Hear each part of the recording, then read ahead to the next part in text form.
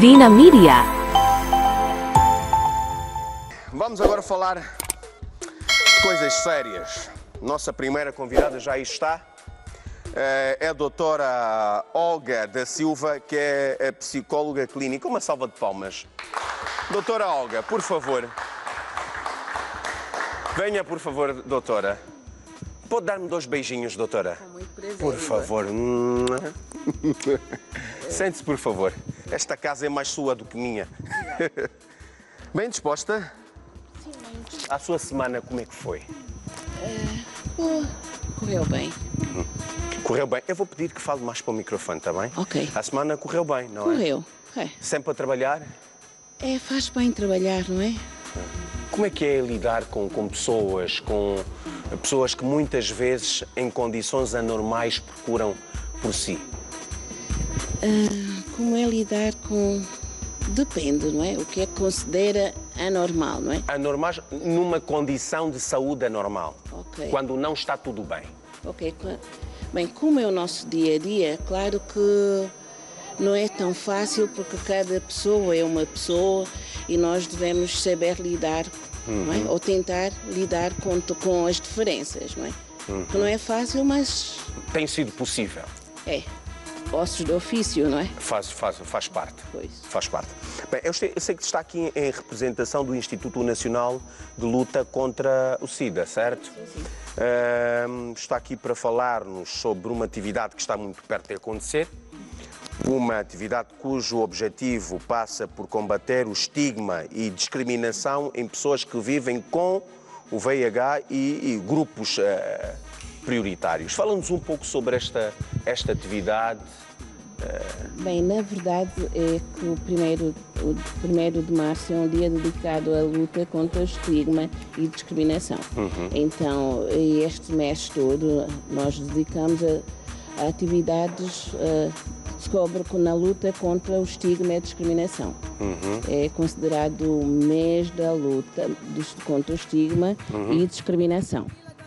Ok. E, eh, ao longo do mês eh, várias atividades vão acontecendo. Sim, Eh, sim. Vocês vão disseminando a informação, vão sensibilizando pessoas. De que forma é que vocês fazem isto? Uh, uma delas é estar aqui consigo, é utilizando os mídias, porque sabe que uh, ainda o estigma uh, e a discriminação, uma das maiores causas na nossa sociedade é a falta de conhecimento. Então, por isso é que para nós, uh, para- na luta contra a discriminação, uh, os mídias têm um papel primordial. Por isso, esse, essa, essa interação, esse, o, nosso, o nosso apoio, o nosso pedido de apoio, porque só convosco nós conseguimos disseminar a informação e acabar com as crenças eh, negativas. Crenças negativas eh, são muitas. A ignorância, eh, infelizmente, ainda é algo presente na vida de muita gente, o que faz com que elas muitas vezes tenham comportamentos, atitudes eh, de alguma discriminação sobre outras pessoas. No caso, pessoas com VIH. Eh, eh, Fala-me, por favor, eh, há aqui um, um- um- estigma, um pensamento de alguma forma totalmente errado que algumas pessoas alimentam sobre quem tem a doença. Que é, por exemplo, no caso das mulheres, uma mulher que vive com VIH é conotada como uma mulher que, por exemplo, passou de mão em mão, envolveu-se com muitos homens, é uma mulher cujos, cujo seu valor é, é posto em causa. Fala-nos um pouco sobre isto. É, isto são os preconceitos, não é? Pois. atitudes erradas, porque vejamos, eh, estamos na presença de lindas, lindas jovens mulheres. Eh, e poderia, eh, há gente da- dessa faixa etária que tem VIH e nunca teve um comportamento de risco. Eh, há quem tem o VIH, nessa adolescente, mulher adolescente, jovem, por ter adquirido no ventre da sua mãe. Pois, Então, ou seja, veio ao mundo ao já com a mundo doença. já com o VIH. Pois. Então, mas quem não sabe vai discriminar, porque é como o que é o VIH? É o vírus da imunodeficiência humana. Então, Uh, talvez por falta de conhecimentos e também como surgiu no mundo o VIH, o SIDA, naquela altura até falava-se em SIDA. SIDA, pois. É, é que eram as, quem eram as pessoas que tinham SIDA naquela altura, nos anos 80, os primeiros casos? Foram pessoas, homens que fazem sexo com homens, não é? Ou gays, uhum. uh, os Homo, homossexuais, homossexuais uh, transgêneros uhum. usuários de droga injetável, uh, trabalhadores e trabalhadoras de sexo. Uhum. Então, este grupo, e os haitianos, no princípio, lá no São Francisco, uhum. eram esses grupos que apareceram com os primeiros sintomas não é? de SIDA. Uh, como eram grupos que ninguém gosta de identificar-se com eles, naquela altura o SIDA era conhecido como a doença dos gays, não é? Mas depois viu Dos gays e das mulheres, dos homens e mulheres Sim, que isso, trabalham com, com, sexo. sexo. E também os haitianos naquela altura. Os haitianos também eram. Quem, quem são os haitianos? Eram, eram considerados uma população. Nós conhecemos Haiti, houve tempos de Ramon é um povo com algumas carências. É, é? Um, é, um, é, um, é um povo muito sofredor é, é, é e com inúmeras necessidades, muito vulnerável. Vulnerável, sim. Então, nós sabemos que a pobreza também às vezes nos torna vulnerável. É verdade. Então, é uma isso, condição que contribui. Contribui. Então, e por isso é que surgiu o estigma em relação ao VIH. Era Agora, é, é um facto que as pessoas associam sempre ao sexo. Ao sexo. Como é. se fosse o único meio, a única via, via. de contaminação. Sim, contaminação. Mas existem outras. É, aí está, o usuário de droga injetável. Uhum. Não é por sexo, é por usar. Sabemos que quem usa droga, eh, às vezes tem aquele, estão num grupo, eh, tinham partilhar, partilhar as seringas. É? Pois. É? Então, na partilha de material pérfuro, portanto, uhum. aí contraía o VIH. Mas só, e naquela altura, como ninguém era, ninguém, o mundo ainda não tinha conhecimento e surgiu o medo. Nós temos o medo pelo desconhecido e sabíamos que naquela altura, passando um tempo, eh, porque eh, quando detectavam as pessoas já estavam com, no estadio de SIDA, já tinham os sintomas, não é? E então, e depois havia morte. Então, associavam pessoas com comportamento não muito aceitável pela sociedade e depois a morte. E todos temos medo da morte, principalmente e quem eram as pessoas com VIH? Geralmente pessoas jovens. E geralmente os jovens não pensam em morte.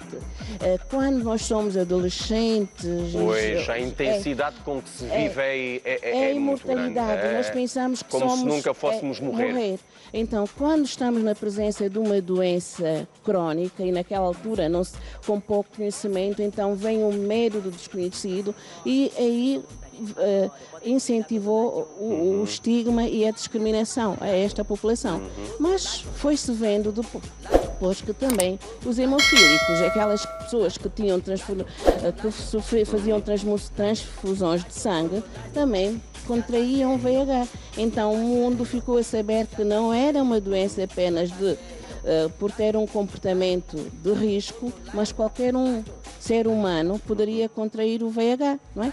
Nós sabemos por materiais pérfuro cortante, é nós vimos também que mulher mulher pode transmitir o, o, vírus para o seu filho. Para, para o bebê, Bem, pois, e o bebê pois. vem, vem ao, ao, mundo já, infelizmente, uh, uh, com esta doença. eu vou já pedir que fale sobre a sua atividade Uh, mas antes vou fazer aqui uma última pergunta.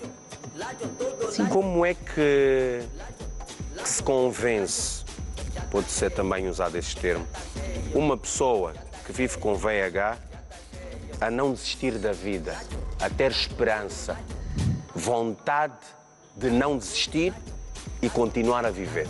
Como é que se convence uma pessoa cujas crenças negativas são enormes.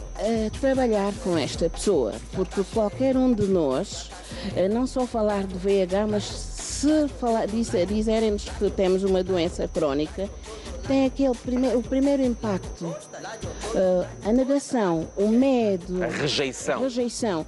E no VIH às vezes tem, além do medo, tem os sentimentos de revolta e a autoculpa. Então nós devemos trabalhar nesta pessoa na aceitação da sua condição. E quando essa pessoa se aceita, uh, aí vê na importância, e vê que há esperança e há a importância de de se amar-se mais e ver que tem vida, não é? É possível continuar a viver, alimentar os sonhos, lutar, Claro conquistar ob- objetivos. É assim mesmo. Bem, eh, a sua atividade, ou a vossa atividade no caso, não é? Eh, como já disse, está aqui em representação do Instituto Nacional de Luta contra o SIDA. Quando é que será a próxima atividade? Bem, é todos os dias. Todos é os dias. assim. Ok, ok. Eh, fundamentalmente passa pela disseminação eh, da informação, Informação. não é? Que é o que está aqui a fazer. É, informação, porque nós eh, primamos pela prevenção. Uhum. é? E prevenção, uma, uma das armas, não é? É a comunicação. Muito bem. A comunicação. E é importante nós alastrarmos isso, não é? É, De facto, disseminar eh, por todos os cantos do nosso país, pelas diferentes regiões do nosso país, muitas onde efetivamente a, a informação não chega, não é? E esgotar aqui aquilo que são as possibilidades, os meios, fazer chegar a informação de diferentes formas, não é? Quem sabe mais, partilhar sempre com quem sabe menos. Doutora Olga, obrigado. Foi um gosto tê-la aqui Igualmente. e poder conhecê-la. Igualmente. Bom resto de tarde, bom fim de semana. Assim também. Uma salva de palmas para a doutora.